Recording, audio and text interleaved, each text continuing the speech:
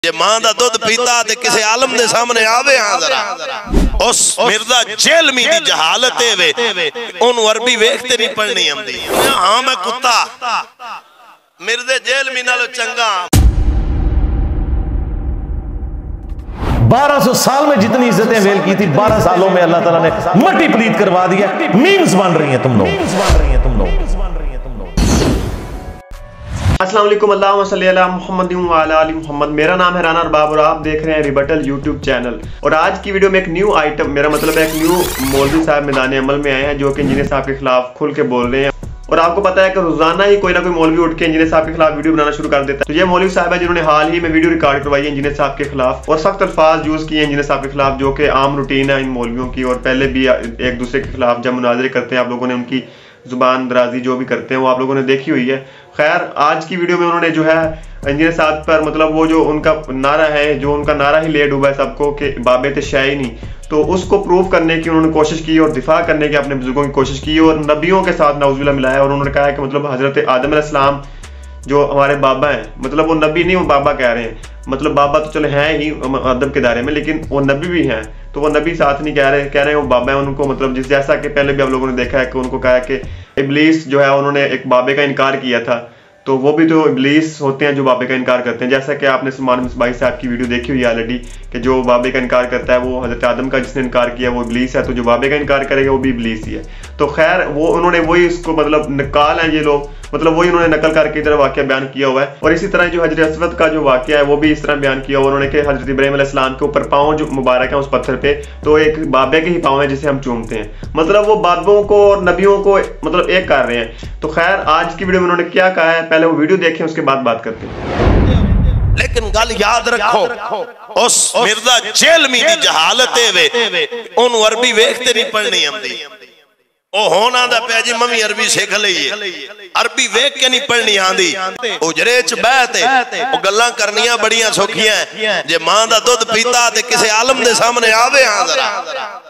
आलम दे सामने आके गल करे।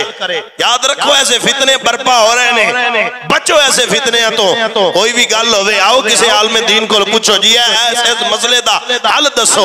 उस पहले शुरू इब्तदा कीता अल्लाह दे वलियाँ तो। उन्हें कहा बाबे शह ही कोई नहीं। बंदे नहीं बोले फिर उन्हें सहाबा दी शान उन्हें गुस्ताखी की और साडे पंजाबी च ने हजूर दे दीन कुत्ते पै गए ऐसा दौर आ गया। कि दीन कुत्ते भौंकन लग पै।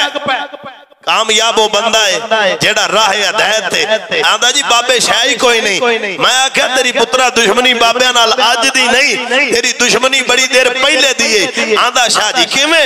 मैं आख्या पहला जदों अल्लाह ने बाबा आदम अलैहि सलाम बनाया।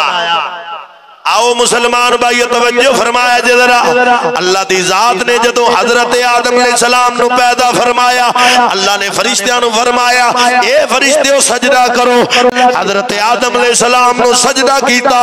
एक बंदा आकड़िया रहा, जिदा ना इबलीस है ओने सजदा नहीं कीता। थक गई। ओ जनाब, हो गया मुनकरां दे विचों अल्लाह ने जलील करके घरों कढ छड्या मैं आख्या जिन्ना बाबे नु मन्निया है, अल्लाह ने फरिश्ते मुरीदियाँ सरदार बनाया है। जिन्ना बाबा नहीं मनिया अल्लाह ने जलीलों का सरदार बना छ आ तू आने बाबे शाही कोई नहीं। आ अल्लाह दे कुरान पढ़ के वेख। पहले तो तीवे सपारे तक। कोई सपारा भी ऐसा नहीं, जिदे विच ज़िक्र कोई नहीं। कुरान पढ़ के अल्लाह जात हज़रत मूसा सलाम, हज़रत खिजर सलाम जा रहे ने, अल्लाह दी जात ने फरमाया, ए मेरे खिजर सलाम, उस दीवार जड़ी दीवार ठटी हुई है, दीवार डिगन वाली है, इस दीवार जनाब सीधा करो। इस दीवार है। तो यतीम बच्चियाँ दी है। अल्लाह बच्चे ने ते दीवार असी करिए फरमाया इस दीवार दे थल्ले खजाना है। अल्लाह दीवार बच्चियाँ दी है। बच्चे खजाना आपे कढ लेंगे जी मैं बाबियाँ नु नहीं मानदा। मैं ना मन तेरे मन की है? अल्लाह मनाई जांदा। अल्लाह फरमाया वकान अबू हुमा सालिहा। इन्हां दा बाप जेड़ा सालिया है वली है मुसलमान भाइयों अगे चल। आगे मैं बाबियाँ नु नहीं मनदा। हज़रत इब्राहिम अलैहिस्सलाम अल्लाह दे नबी आ अल्लाह थानू ले जाए।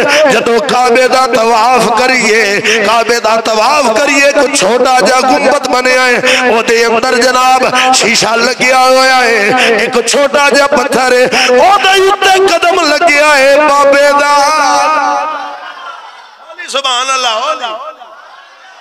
समझिया जरा।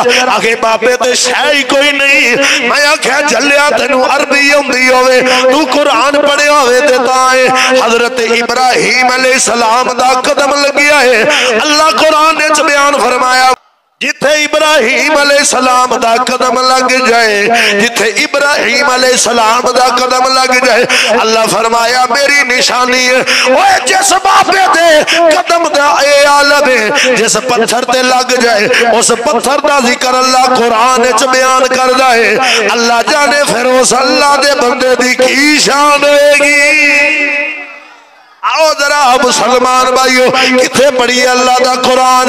बाबिया दी ते शान एक पासे, सिहाबे काफ सिहाबे काफ एक गार दे विच ने, नाल एक कुत्ता है जेड़ा पारे दे वास्ते। तवज्जो फरमाया जे जरा, अल्लाह दे वली जालिम तो जनाब किनारा कशी करके जा रहे ने, कुत्ते ने वेखिया, कुत्ता भी पीछे पीछे आपने अल्लाह दे ने ओनु पीछे छड्डण दी। वीडियो बनदी पई है, ए उस मिर्दे जेल आदमी को भी जानी है असि कोई गल पर उजरिया च बह के नहीं ना गल करनिया उस आख्या सोने हाँ मैं कुत्ता मिर्दे जेल मी नालो चंगा मैं अल्लाह के वलिया हाँ कुत्ता लेकिन अल्लाह के वलिया भोगन वाला नहीं तवज्जो करे जरा उस आख्या ना मैं भोंका ते ना मैं टोका ते ना मैं शोर मचा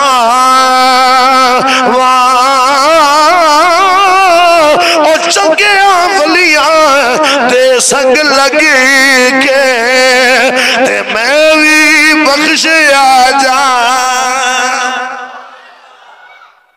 अच्छा अल्लाह दे वली। आंदा, बाबे शाह कोई नहीं। मैं क्या कुरान पढ़। बाबे जैसे गए ना, गार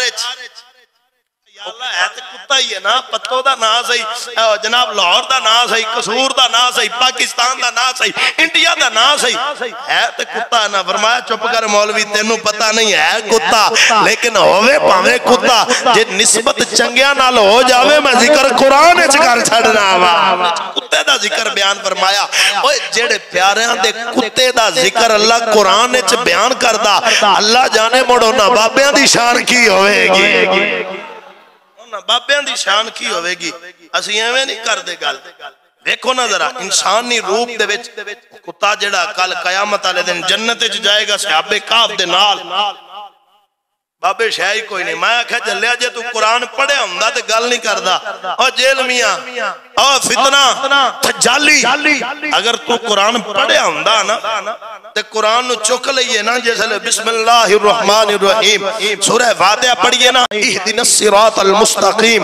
जदों इना पढ़ लईए ना अगे आ जांदा है सिरात अल्लज़ीना अनअमता अलैहि। इथे आइए ना अल्लाह बयान पहले सफे ते ही फरमांदा सिरात अल्लज़ीना अनअमता अलैहिम।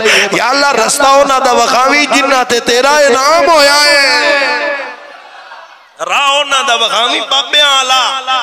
जेड़े है ही कुरान के ते इनकार करे दारा इस्लाम तो खारिज है अज दे दौर मैं अपने जवाना भी आखांगा अपने पुत्रा भी आखांगा कोई भी मसला होवे इंटरनेट तो ना लिया करो मसला होवे पूछो फेसबुक तो ना लिया करो ओए ओ जेल में दा काम में इंजीनियर दा काम में सड़क बनाना खालियाँ बनाना अब मैं आख्या दलीला तू जाते खालियाँ बना चार किताबा रख के दीन आलम खोते ते किताबा लद देइए ते खोता आलम बन जाता है याद रखो।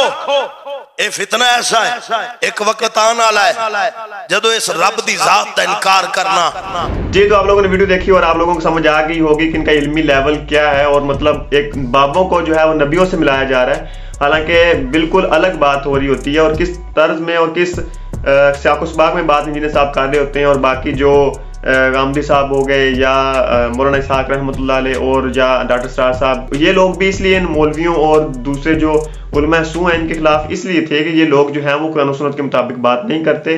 ये अपने बुज़ुर्गों की ही कहानियों को आगे लेके चल रहे होते हैं, उनकी लिखी हुई किताबों और उनकी जो शरीयत अपनी बनाई हुई है, उसको आगे लेके चल रहे होते हैं। कुरान सुनत से इनका कोई लेना देना नहीं होता। तो ये थी आज की वीडियो। आप लोगों ने कमेंट बॉक्स में अपनी राय का इजहार ज़रूर करना है कि मैं ऐसी वीडियो नेक्स्ट बनाता रहूँ या नहीं। इनशाला मिलते हैं नेक्स्ट वीडियो में। अल्लाह हाफिज़।